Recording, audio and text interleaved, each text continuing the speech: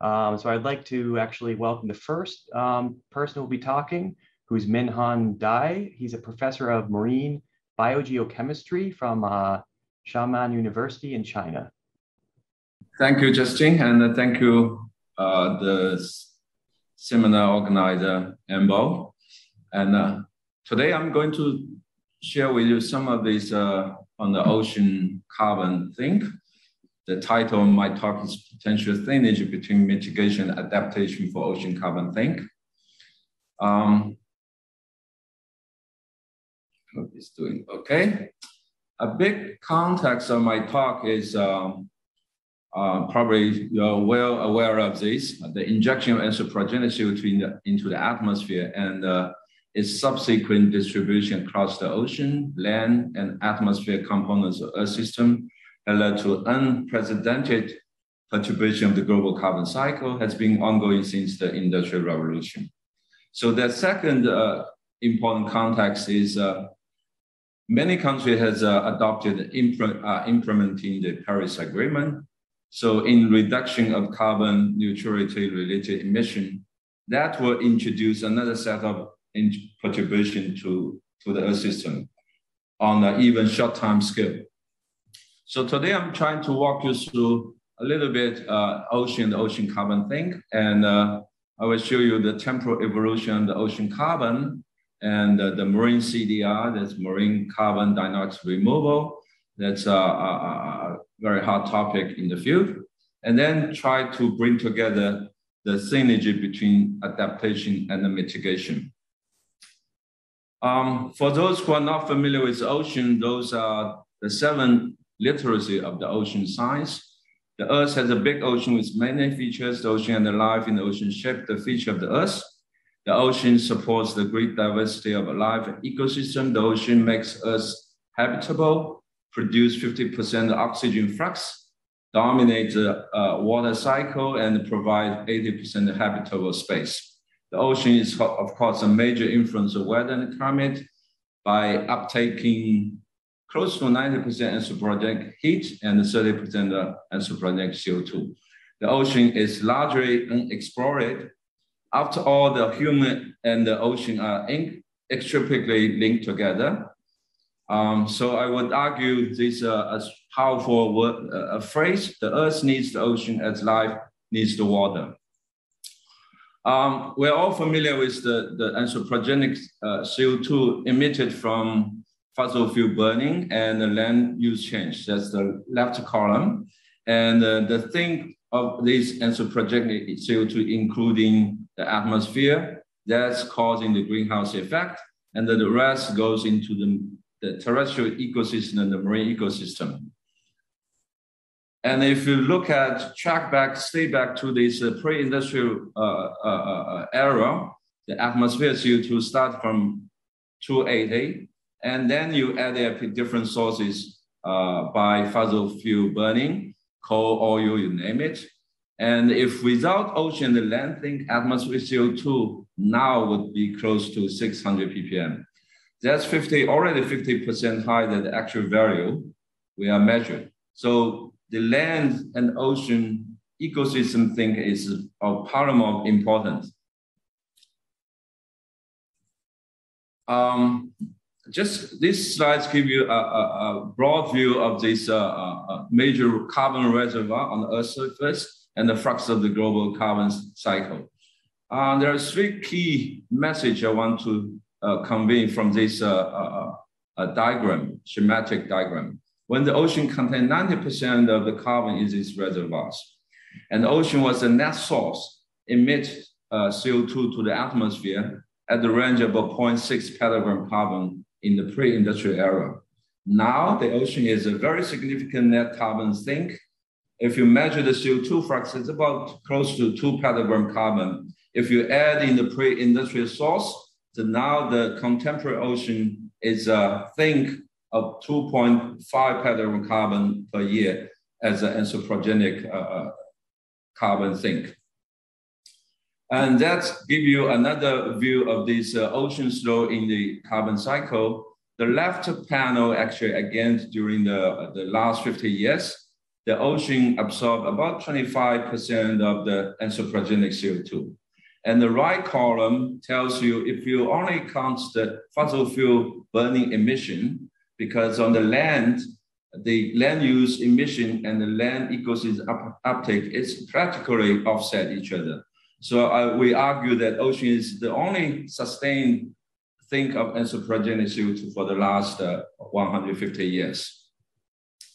Uh, I don't want to give you too much details of the carbon cycle, but essentially this gives you how the ocean function as a, the moderator of atmospheric CO2. Start with the gas exchange between air and the ocean, and then uh, uh, followed by a suite of the chemical equilibrium reactions of the carbonate system.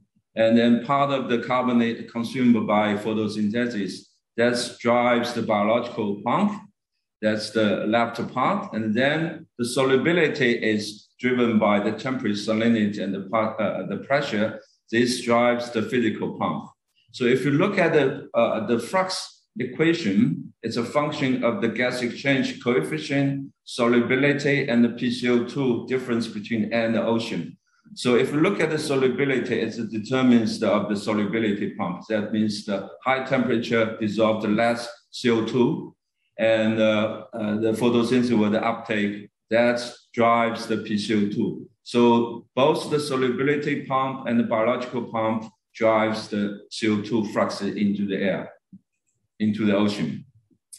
Um, just give you a, a, a, the idea how the ocean breathes the CO2. The up panel is the coastal ocean, and the left lower panel is uh, is the is the global open ocean. The cool color that signifies the carbon sink, and the warm color is the carbon CO2 emits into the atmosphere.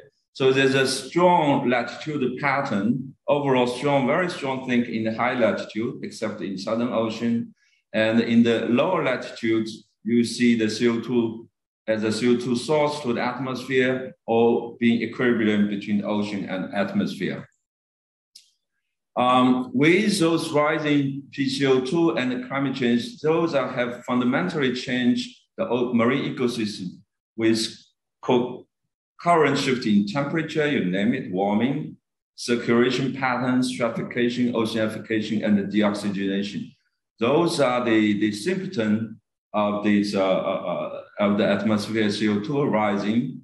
And uh, so the ocean is is both as an actor of the against the climate change, also a victim of the climate change. So um, I just adopted this uh, uh, IOC, the Integrated Ocean Carbon Research Report, just released a few months ago. Those listed the overarching question in ocean carbon research. The first one will be the will the ocean uptake of anthropogenic CO2 continue as a primary as abiotic process? what is lower biology is very much relevant to this seminar. And what's the exchange of carbon between land ocean continuum and how they evolved ocean over time. And the most important, how the human are altering the ocean carbon cycle resulting feedback. So including, I will touch a point on this possible purposeful carbon dioxide removal from the atmosphere. Uh, with that, I'm trying to goes into the temporal evolution of the carbon and the CO2 in primary. This gives you the, uh, uh, uh, the idea of the two times series station. One is the, in the Pacific and one is Atlantic in the, uh, in the subtropical region. You can see clearly the gray is the, the line is the atmosphere CO2 availability. And you see these uh, both at the Pacific, Atlantic. So essentially, the ocean PCO2 follows very closely with acid PCO2. So that's one of the reasons the ocean has been uptaking CO2 as a function of solubility. It's an abiotic process, it's a predominant process. If you move into the coastal ocean, this is the Baltic Sea, Mid-Atlantic Bight, and the South China Sea. You see much higher amplitude availability of PCO2 in the ocean, in the surface ocean, uh, extremely uh, variability in the Baltic Sea because it's very close with strong biological uh, activity. This is uh, the seasonal pattern. And if you move Atlantic uh, in the Atlantic mid-Atlantic bight, it's much less variable. And if you go to into the uh, South China Sea, a big marginal sea, essentially similar to the open ocean. So I would like to take you back to another view to look at the how the, the ocean carbon has evolved since from the pre-industrial era to the contemporary era and then into the future. Those is this uh, schematic essentially shows the pre-industrial, the natural carbon cycle. So essentially, the land was a, a, a, a small thing, and then the organic part of the organic carbon uh, uh discharged from the river into the into the coast ocean and the open ocean about at the round of the 0.6. So it's essentially those organic from the river and from terrestrial system will by and essentially degas. So during the pre-industrial era, the ocean is a source to the atmosphere uh, uh CO2. So the red arrow, this shows the present time, and you see and so anthropogenically altered uh, CO2 fluxes. Essentially, the ocean becomes a very strong uh, CO2 sink from the atmosphere. In particular, if you look at the coastal ocean, the alteration is, uh, the percentage of the alteration is very big. And uh, so that's one of the vulnerability of the coastal ocean in response to the uh, anthropogenic CO2. If you move into the, the in the future scenario, and uh, you immediately notice a lot of question marks but essentially you continue to see the alteration of the anthropogenic CO2 into the coast ocean. But if you look at the flux number, it's much less from the now. Um, so um, into look into the future, it's quite difficult to predict. The, but essentially, the Earth system model suggests significant weakening, even potential reversal of ocean lengthening under future low emission scenario, essentially driven by the PCO2 in the air, because the essentially uh, uh, uh, uh, driver into the land and the ocean is the delta PCO2. And uh, the prediction, why it's so difficult for, for predicting the future uh, trend, because one of the is the reason is the, the land, ocean, and atmosphere coupled system. So on the left column, you see these all the different drivers from the land, river dissolved inorganic carbon, nutrient driven by the fertilizer usage from the land.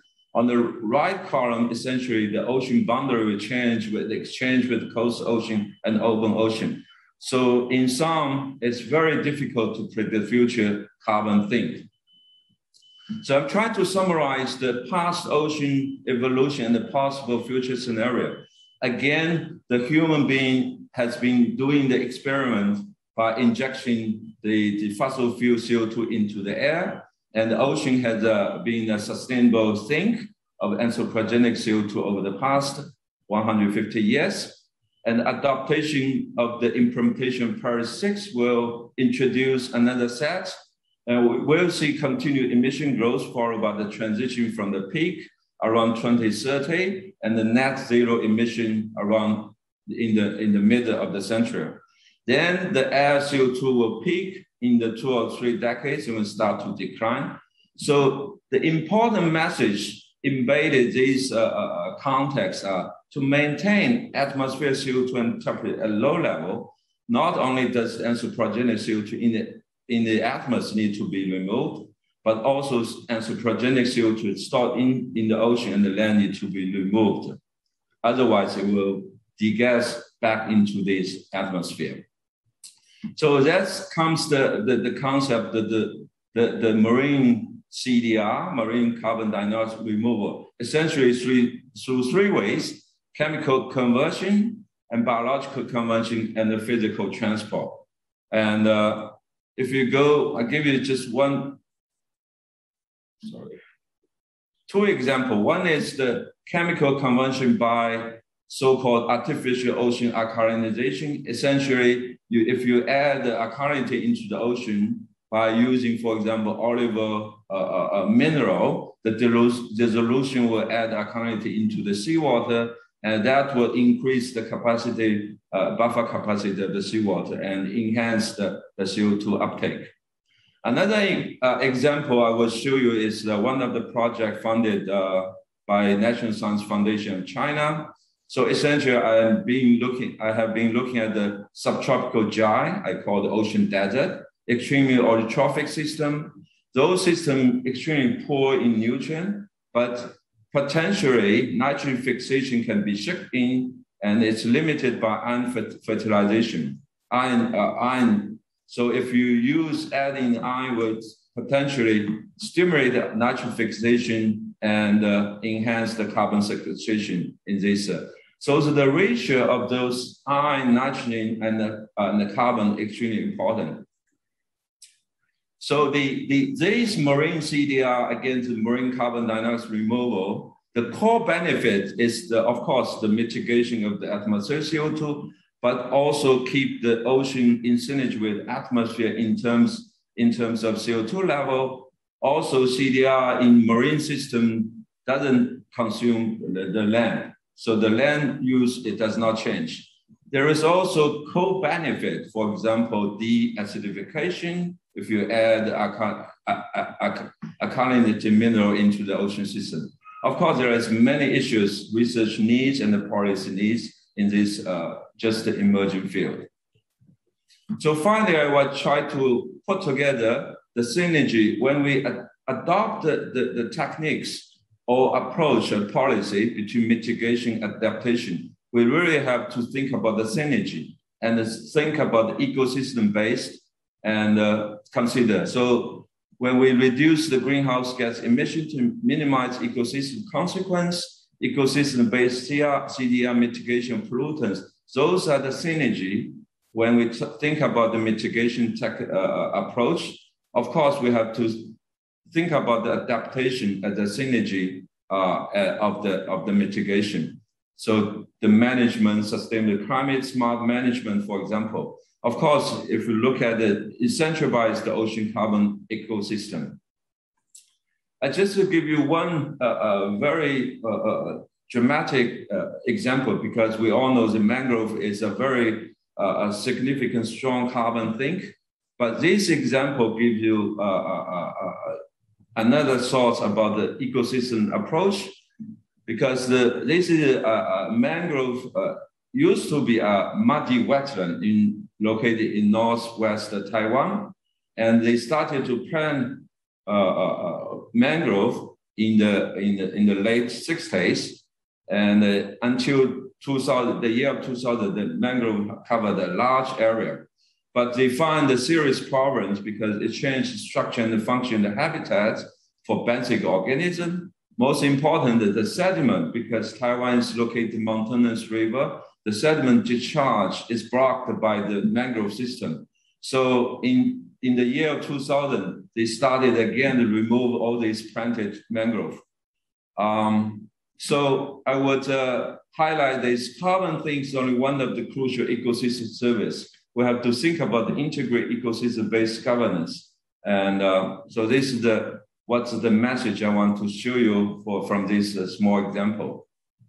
Um, I think uh, I conclude uh, uh, by my talk with, I don't want to read, read again because my time is up, but essentially the ocean has been very important, but the predicting of the future ocean carbon is, is a big, huge challenge. With that, I thank you all very much. I hope my time is uh, about right. Thank you. Great. Thank you very much, Minhan. That was a very nice talk.